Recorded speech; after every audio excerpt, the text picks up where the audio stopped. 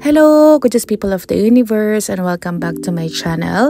Papunta kami ngayon ni ate sa Dotonbori area para mag food trip. Luckily, ang hotel namin is 5 minutes away lang doon. So let's go! So we're here at Dotonbori at napakadaming tao guys. Alam nyo ba na bumisit din kami dito sa Dotonbori ng umaga pero same lang din siya. Mas marami pang ang yatang tao pag umaga kumpara sa gabi. Kilala ang Dotonbori area sa variety of restaurants and bars at napakadami ding street food dito. So pag nakakita kayo ng isang restaurant na mahaba ang pila, it means masarap ang pagkain doon.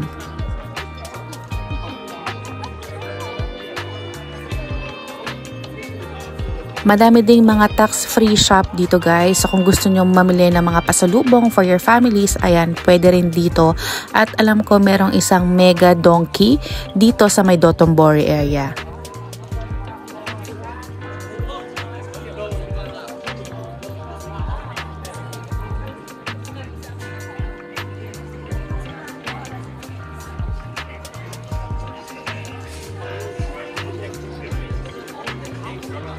Kilala rin ang Dotonbori sa mga extravagant neon lights at yung mga pasabog nila na design ng kanilang restaurant.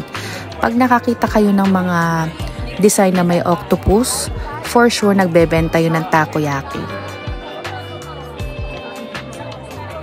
Speaking of takoyaki, ang takoyaki ay originated dito sa Osaka. So, iyon ang una nating itatry na street food dito.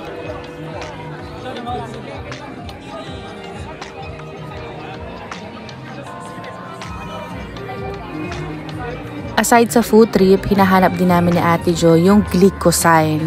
Alam ko malapit lang yon sa may Dotonbori Bridge. Yung mga nagpupunta kasi dito sa Osaka, especially sa Dotonbori, lagi sila nagpapapicture sa glycosine. Which is hindi ko alam kung ano yung reason. Pero syempre, since nandito na din tayo, magpa-picture na din tayo. Pero kung alam nyo yung dahilan kung bakit sikat yung glycosine dito sa Dotonbori area, please comment down below.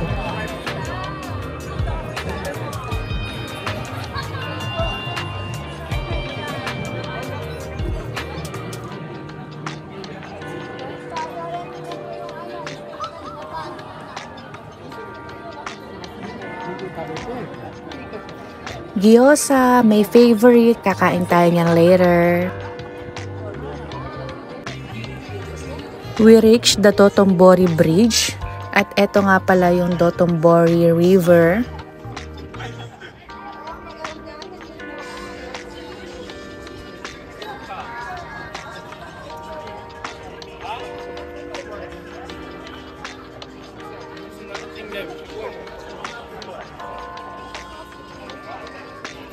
At ito naman yung glycosine. Later, magpapapicture tayo dyan.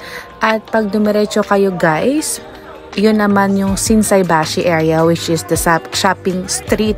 So, later na tayo magsha-shopping. For now, magpuputrip muna tayo.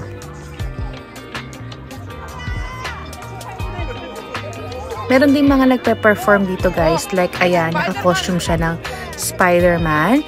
Meron din kami nakita ritong nagma-magic. Meron din dito mga grupong ng kabataang sumasayaw at may nagpabasking kagaya niyan.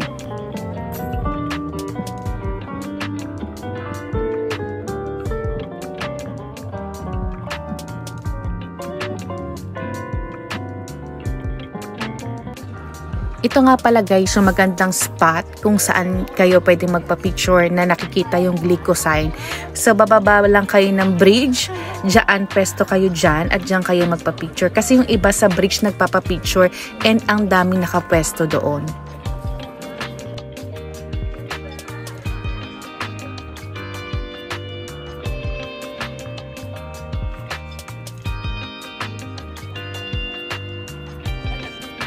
Kung gusto niyo naman ng activity guys, meron ditong masasakyan na boat. Alam ko may bayad yon Pero pwede niyo naman siyang i-book sa Klook. So kung gusto niyo lang ma-experience, ayan siya guys. Ang alam ko, iikot lang yan dito sa may Dotonbori River. Tapos ayan naman yung Mega Donkey. So yung una natin pong uh, kakainin for today is takoyaki. So, masarap po dito yung takoyaki kasi basta pinipilahan dito sa Dotonbori, it means masarap siya. Parang yung ichira na kinaanin na natin kahagabi, pinipilahan yon kasi masarap siya. So, ayan, order tayo. So, takoyaki is made of a wheat flour based batter and cooked in a special molded pan. It is typically filled with minced or diced octopus, tempura crabs, pickled ginger, and green onion. Takoyaki. Dahan-dahan po sa pagkain kasi minsan mama, mama, mama ano, wow mali kayo. Yan, kasi nga, yan o, minsan mainit. Mm.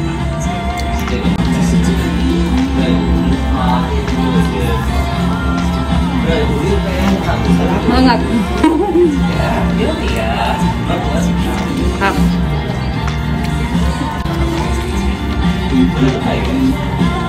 Mainit pa? Mm-hmm. Mm.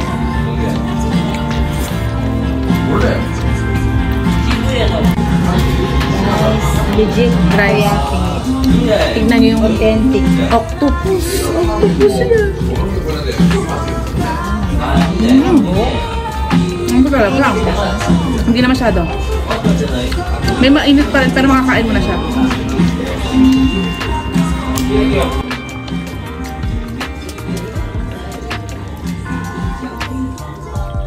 Walo pala siya. Kala ko ano. So, this takoyaki cost 600 yen and it's 8 pieces. Kung tutuusin, okay na siya sa pang dalawang tao.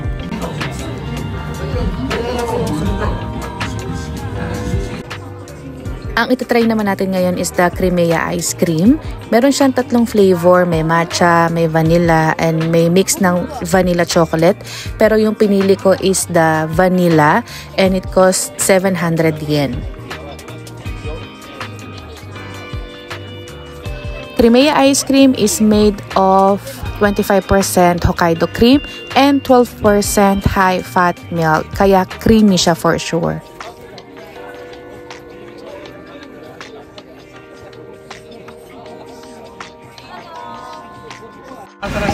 Gaano ko niyan yung ano? Hmm. May matcha dun. Sa ating second food trip, Crimea ice cream. 700 yen siya guys. Medyo mahal pero masarap. Siyempre, trinay din natin yung 10 yen pancake. So, hindi siya 10 yen na. It cost 500 yen. So, para siyang uh, waffle na may naka-impose na 10 yen. And may filling siya na cheese. Uh, okay naman siya, pero hindi siya ganun kasarap as in-expect ko kasi lahat ng mga nakikita ko sa vlog, sinasabi nila masarap daw. Pero for me, so-so lang.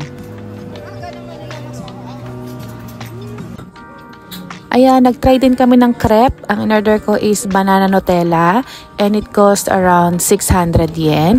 Masarap siya in fairness. Tapos yung uh, gilid kasi nung restaurant na yan, doon ka pwedeng kumain.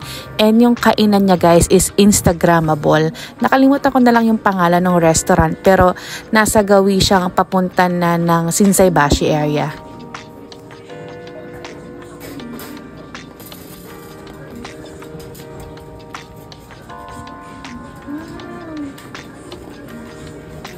Lang, di ba?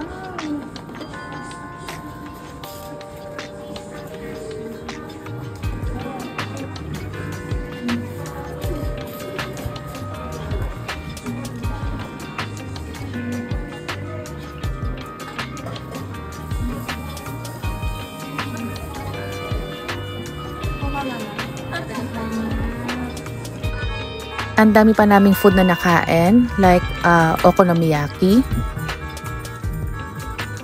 Siyempre, ang paborito kong gyoza. At potato twister. Hindi ko na lang nabidyohan guys kasi sobrang busy na namin. Pero gusto kong gumawa ng video at gusto kong i-rate lahat ng food na nakain ko dito sa Japan. So, if you like this video, please do hit the thumbs up, share this video, and subscribe. See you on my next vlog. Bye-bye!